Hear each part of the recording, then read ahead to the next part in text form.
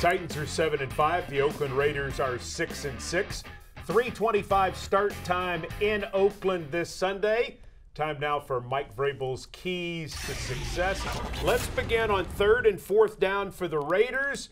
Got to stop them on those third and fourth downs. We do. We have to get back. This, this team is, uh, you know, they're in the top 10 in the NFL. They're, they're seventh and third and fourth down. They don't commit a lot of penalties offensively. So therefore, just like with the Colts, we said they have a lot of third and manageable down and distances, third and four, third and three, and you know they're around 45, 46 percent. So they do a nice job there. It'll be a huge challenge for us defensively. All right. Second key is score touchdowns in the red zone. Something the Titans have done well this year. We have. We have to continue uh, with that confidence, and we have to get our players to understand how critical it is to to be able to get down there know what they're doing. Some teams' identities change a little bit, coverages change. They, uh, is this a pressure team? Is this a zone team? You know, it'll be critical that they understand that, that we get them to understand that, and how we're going to try to attack them and, and be able to score touchdowns. All right, now the last one our punt versus their punt. I don't understand what that means. Yeah, we have to be able to win this field position. And, and they are averaging – um, you know, 11 and a half yards a return. And it's critical that, that we're able to, to punt the football, go down there and cover it and not lose. You talked about hidden yardage, and we always talk about that.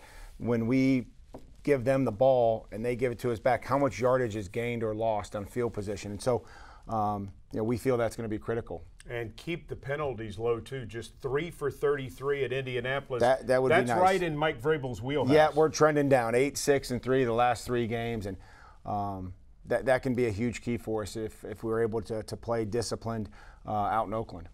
In terms of travel to the West Coast, how difficult do you really think it is coming from the Central Time Zone? I, I, I mean, I it doesn't. We're going to leave whenever we need to get there at 4:30, like we always do uh, on Saturday, and um, you know we'll, we'll, we'll set our alarms when when they say that we need to get up, and we'll go play the football game. So you don't feel like doing anything special for West Coast travel is worthwhile? Um, no, I mean I don't really. I think the the best thing to do is is to to prepare. Um, to understand the opponent, to know the player that we're going against, what's his skill set, how's he like to play, is he fast? Is he long? Is he is he a powerful player? Who's covering me? Uh, those are the things that are critical, not uh, you know not what time it is or the daylight savings or you know anything like that. You just really stick to football. I try.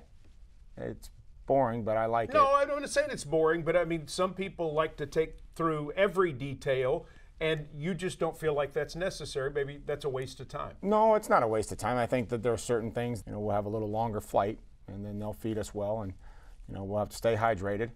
But, you know, we'll, we'll be ready to go and, and hopefully uh, prepared. And hopefully come back eight and five. Okay. That works. That'll work. All right. The Titans going to take on the Oakland Raiders again. The Titans are seven and five.